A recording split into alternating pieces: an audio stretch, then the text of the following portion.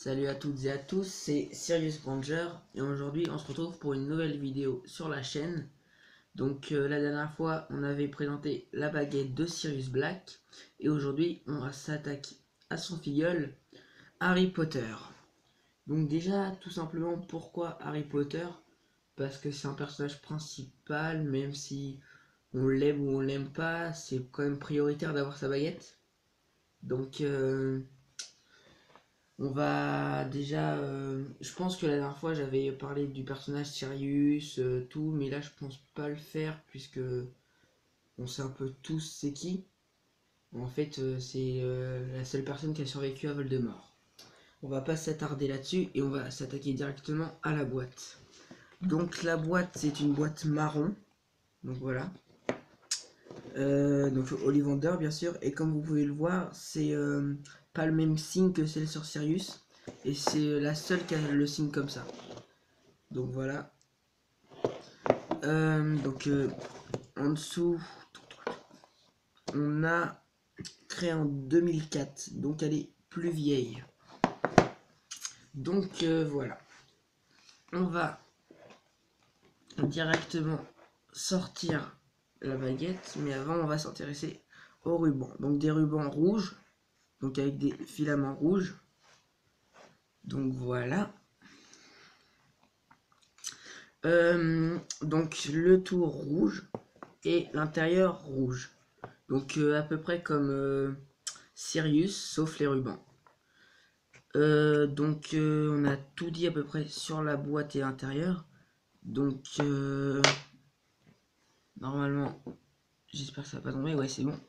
je vais vous faire passer la baguette.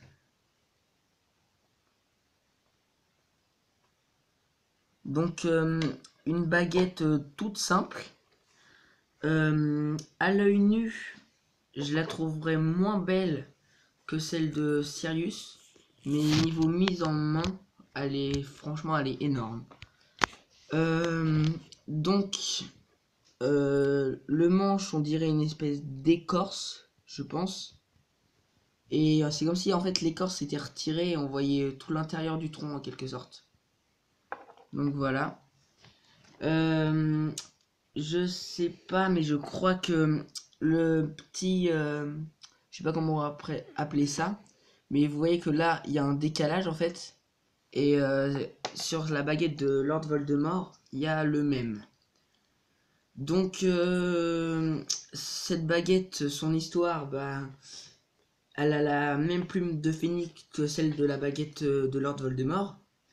Et euh, donc euh, Harry ne peut pas tuer Voldemort et Voldemort ne peut pas le tuer tant qu'ils ont la même baguette entre les mains. Donc c'est pour ça que après Harry va changer de baguette, voilà. Donc Harry l'aura pas toute, toute sa vie, comme je viens de vous le dire.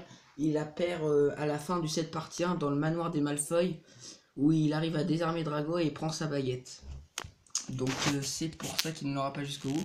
Mais à partir de euh, la fin, du début à la fin du set partie 1, il l'aura. Donc on a à peu près tout dit sur cette baguette. Euh, n'hésitez pas à vous abonner à la chaîne. laisser un pouce bleu.